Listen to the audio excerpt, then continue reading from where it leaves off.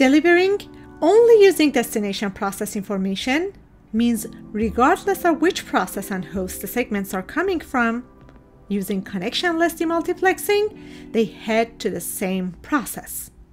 That is, identified within the destination host with a host local port number. Let's see connectionless demultiplexing in an example. We have three different hosts at IP addresses that are depicted as A, B, and C. And we have created sockets 9157 on host A, 5775 on host C, and 6428 on host B.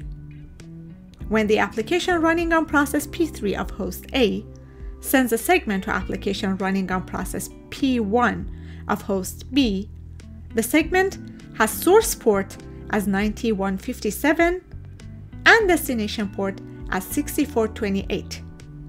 And after arrival of the datagram on the host with IP address B, the destination port number 6428 will be used to deliver the segment to application process P1. Connectionless transport, like UDP, will always deliver all segments that have destination port 6428 regardless of the source port or any additional information to the same socket for the same process P1.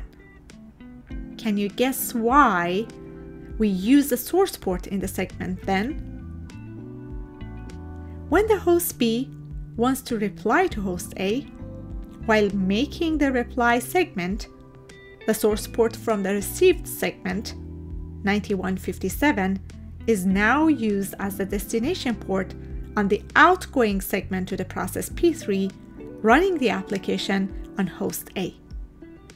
Therefore, segments from process P1 on host B to process P3 to host A have source port 6428 and destination port 9157 and when arrived on host with IP address A, the destination port 9157 regardless of the source information, will be used to deliver the segment to process P3.